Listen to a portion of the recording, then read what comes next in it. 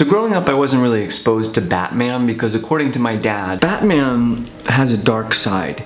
He's not entirely good but also not entirely evil. For my parents, there was no such thing as moral ambiguity. If something wasn't all good, then it was definitely all bad. Son, action figures promote violence, and I read a study that children who are exposed to violence become violent. I agree with your mother on this one. One time during the year that I was on chemotherapy when I had cancer and we were talking to this neighbor. Hey kid, do you like comic books? I got a collection of hundreds of comic books and I'll give them all to you if you want. But I had to be like, thanks mister, but I'm not allowed to read comic books. So the neighbor with sunglasses looks at my dad and my dad is like, it seems like the comics today are a lot different than the comics when I was growing up. Sometimes you can't tell who the good guys are and who the bad guys are. Do you know what I mean? What if I separate all the good comics from the bad comics and I give all the good ones to your son? Yes daddy, please, please, please! Yeah, I, uh, I suppose that would be alright. I'm so excited I take one and I sit down on my bed and I start to read it and a few pages in, a character gets shot and then swears. So I've been corrupted by this image of violence and the sight of a bad word. I'm never gonna get them out of my mind forever. Go away, stop thinking about it. Oh no, it's still in my mind. I can't get them. So I took that page to my dad and I was like, look what I just saw in this comic. And my dad was like, looks like he gave you the wrong pile of comics.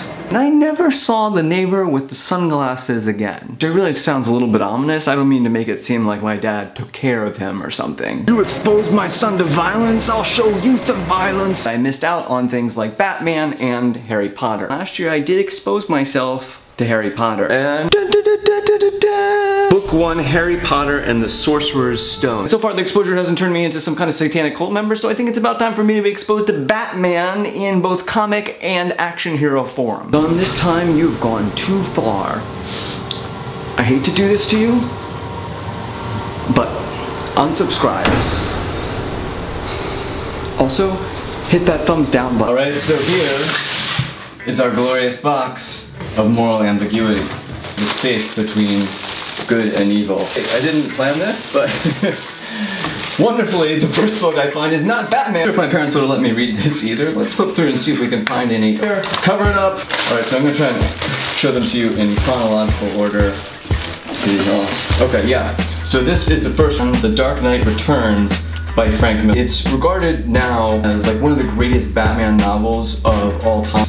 So many spoilers, so many spoilers. Ah, there we go, okay. So who is this? Ah, it's Superman. So this novel was actually the basis for the new movie Batman versus Superman. Dun, dun, dun, Batman, year one. This book is the basis for Christopher Nolan's Batman, the Dark Knight trilogy. Here we have it, dun, dun, dun. See, check it out. We've got the 30th anniversary edition book and the 30th anniversary edition action figure. Why are you opening this box? That is a pristine box that should be kept in forever. I'm not sure why all the commenters have such high nasally voices today. Him from his crinkly home.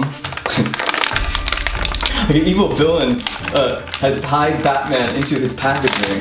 Like he's like, oh, I cannot, I cannot escape. Ah.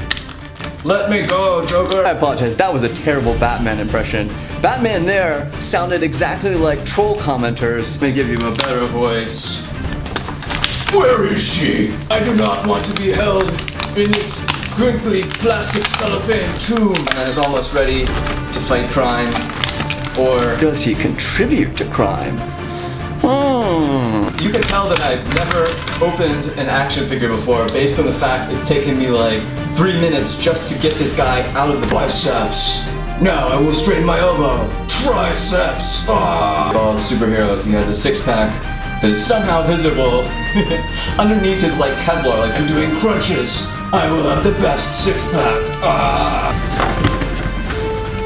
Yes. More fun than I would have expected. Wow. That is the face of a morally ambiguous superhero. Speaking of things that I was not allowed to be exposed to growing up, next week is Halloween! Um, you're following me on your favorite social media platforms so that you can see my picture of my Halloween costume this year as soon as I post it. Thanks for watching. Be sure to hang out sometime.